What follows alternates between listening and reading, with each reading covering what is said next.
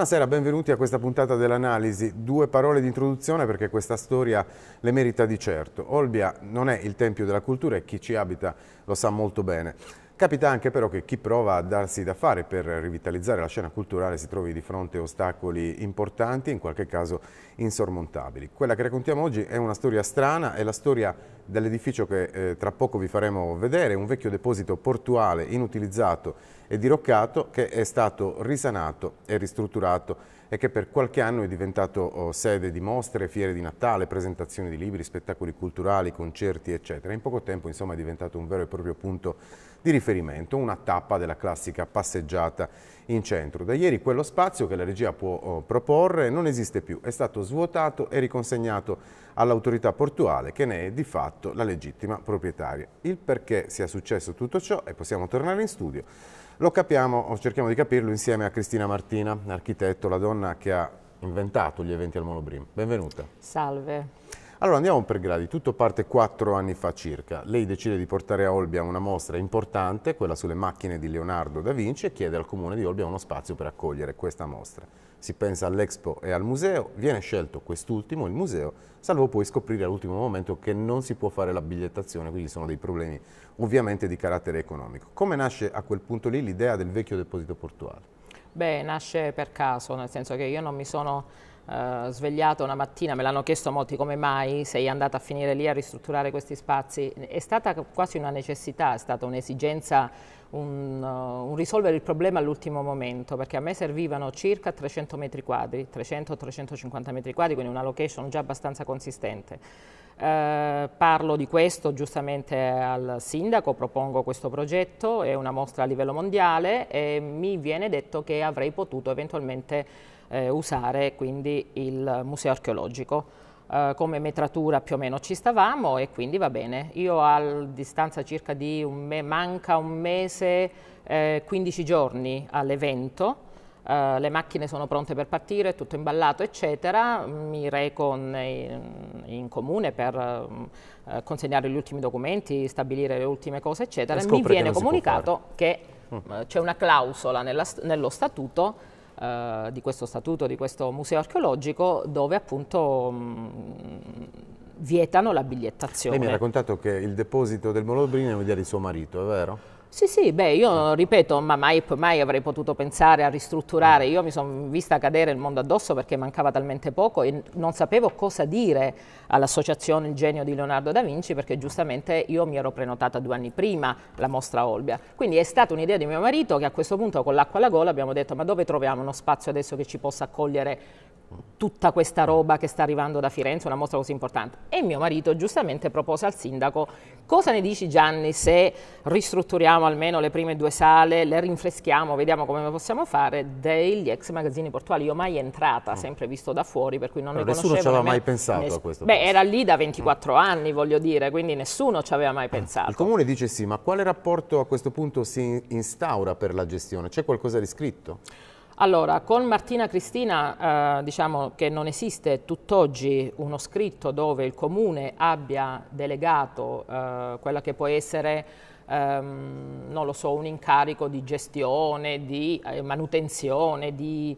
Uh, questo nella realtà è stato fatto perché insomma giornali, televisioni, tutti sapete benissimo che certo. l'architetto Martina Cristina ha ristrutturato, gestito e um, più che altro diciamo la cosa per me che conta di più eh, io sono riuscita a dare un'anima a quel magazzino, a quel rudere che era un tempo e di questo ne sono veramente fiera. Non Però è la non rinfrescata, aveva... la ristrutturazione, quanto l'aver fatto poi funzionare, perché poi Leonardo va via dopo due anni mm. e quindi visto che poi bene o male era stato fatto un, inve un investimento da parte mia, a questo punto ho detto finché l'autority portuale ce lo lascia, visto che lo stiamo usando per la città, certo. perché non era per un uso personale, io do vita al comitato promotore eventi al Molobrin, eh, e quindi di conseguenza eh, sforniamo eventi voi ci avete seguito da sempre, per tutto l'anno, garantendo un servizio culturale, artistico, presentazioni di libri, quindi letterario. Però il sindaco dice che lei ha lavorato come volontaria insomma, su questa Beh, su no, questa io non lo chiamerei volontariato, diciamo che eh, i magazzini nascono proprio da una necessità, perché non, non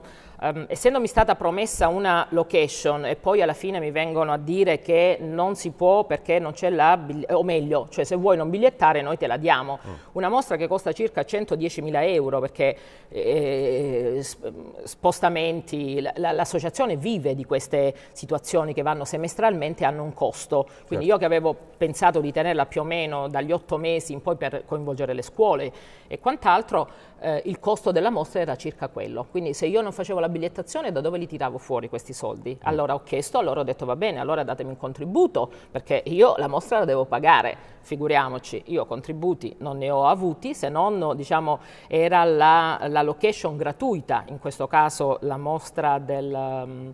Um, del, di terracotta, terracotta del, dell'imperatore Cin alla, all'Expo e, e, il Museo Archeologico per la mostra di Leonardo. Siccome non è stata così, ci siamo ingegnati, ma perché non potevamo permetterci il lusso di far ritornare indietro la, la mostra che era già impacchettata per noi. Ok, comunque lei tiene in gestione questo locale, funziona così in sostanza, il locale dell'autorità portuale, ma il comune paga un affitto. Sì, viene chiesto un, un, 6-7 mila canone. Euro mm, no, 6 mila euro, 6 6.200, 6.300, 6.400, una cosa del no, genere per i primi due anni, che sono poi stati gli unici anni che io ho scoperto poi quest'estate, perché io giustamente non mi preoccupavo se il comune pagasse o non pagasse, noi eravamo là, ogni anno si rinnovava la richiesta, perché ehm, credo che sia anche una cosa a livello proprio legale, che l'autorità portuale possa dare annualmente la struttura, per cui il comune annualmente ne rifaceva e lei, lei sa perché richiesta. il comune ha smesso di pagare negli ultimi due anni? Bah, io ho dovuto chiedere informazioni, perché nel momento in cui l'autorità portuale mi chiama quest'estate, quindi l'estate scorsa, mm. mi chiama per chiedere come mai il comune non sta pagando e come mai io continuo a fare eventi senza che addirittura addirittura il Comune ne abbia fatto richiesta nel 2012, potete immaginare io, mm, cioè, mi sono sentita cadere un secchio d'acqua fredda addosso, ho detto come il sindaco non ne ha fatto richiesta, ma se era la settimana scorsa a tagliare il nastro, il 19 di luglio, cioè, mi è venuto spontaneo rispondere così, cioè vi state sbagliando. E invece eh, giustamente io sono uscita dall'autority portuale con, ecco, come mi hanno detto tutti, con il cervello in fiamme, sono andata in comune a chiedere al sindaco se era vero tutto ciò. Ed era vero. Ed era vero, era vero. Quanto ha investito per mettere a norma e rendere agibile quella vecchia Beh, io sono partita sui 50-60 mila euro all'inizio perché ho solo preso le due sale, questo concordandolo con l'associazione e promettendo loro che con la bigliettazione eh, se fossi stata così brava a fare tutto un lavoro di le scuole, i turisti, eccetera, io poi li avrei liquidati piano piano. Così è stato, nel senso che il primo anno noi abbiamo speso tra i 50 e i 60, comunque ci sono fatture, c'è tutto, sono tutti dati certo. dimostrabili, abbiamo speso quella cifra, poi uh, chiedendo sempre annualmente l'uso, visto che ormai era stato fatto un investimento iniziale e visto che uh, c'era ri risposta da parte della città, perché in qualunque evento io ho sempre avuto dalle 500-600 persone, che fosse il mercatino di Natale, che fosse la mostra degli artisti, che fosse il salotto degli artisti, che fosse sotto le ali di Leonardo, tutti eventi dove hanno partecipato davvero tantissime persone, talenti, un percorso del gusto, promozione del territorio, alla fine poi eh, tutto sommato questo... Uh, questa location occupa un posto geografico importantissimo, io credo che di questo se ne siano accorti tutti, forse forse certo. proprio per questo che adesso ci troviamo in queste condizioni, perché io penso che faccia gola a molte persone e mm. quindi di conseguenza molte persone dimenticano che è stato lì per 24 anni senza che nessuno si facesse venire delle idee e con un atto di coraggio mm. si facesse carico di una spesa iniziale. Senta, sappiamo tutti che il comune di Olbia insieme agli altri comuni italiani ha un problema di patto di stabilità e quindi le spese sono un po' difficoltose, ma eh, alcune indiscrezioni forse è il caso di eh, renderle note. Sembra che i commercianti del centro storico di Olbia non vedessero di buon occhio questa sua attività, concorrenza, rivalità. Ha mai percepito un clima poco favorevole nei confronti di ciò Ma, che faceva? Eh, io più che percepito mi è stato proprio detto, cioè nel momento in cui sono andata a chiedere spiegazioni al sindaco e come mai non voleva più pagare, non poteva, non voleva, quali erano i motivi, eh, dal sindaco mi è stato detto uno perché non aveva più quella cifra a disposizione e due perché questa mia presenza lì creava un po' il malcontento dei commercianti. Queste sono parole che mi sono state riferite e io ho chiesto ma come mai, in che senso, perché cosa faccio? Io gli eventi che faccio sono anche eh, dedicati ai commercianti, nel senso che per esempio il mercatino di Natale, eh, non, cioè non sono io, io non sono un commerciante, quindi io ho fatto in modo che organizzando l'evento del mercatino di Natale ognuno si potesse iscrivere, quindi io ho iniziato a comunicarlo sul giornale eh, due mesi prima, chiunque volesse partecipare dei commercianti eh, anche degli hobbisti, quindi hobbisti, commercianti eccetera, fra poco si aprirà il mercatino di Natale come l'anno precedente. Per cui voglio dire, eh, io dal corso non ho avuto nessuno che è venuto a presentarsi, quindi è un problema loro, non mio, perché io ho offerto movimento alla città, ho dato vita in un mese morto che è novembre, tutti lo sappiamo, dove i negozi le domeniche sono chiusi, mm. eh, c'è un momento di crisi, quindi la presenza del mercatino per me è stato un momento davvero ho cercato di dare un, un, un, motivo di anche un brio, cioè la gente mi diceva Cristina non chiudere, resta aperta anche dopo l'otto dell'Immacolata, infatti ho chiesto la proroga perché grazie a te poi la gente va al corso perché non va nei grandi magazzini, viene da te e poi si fa anche la passeggiata al corso, quindi mm, mi dispiace che proprio loro non l'abbiano capito. Senta, che cosa l'ha più delusa in tutta questa storia o chi l'ha più delusa?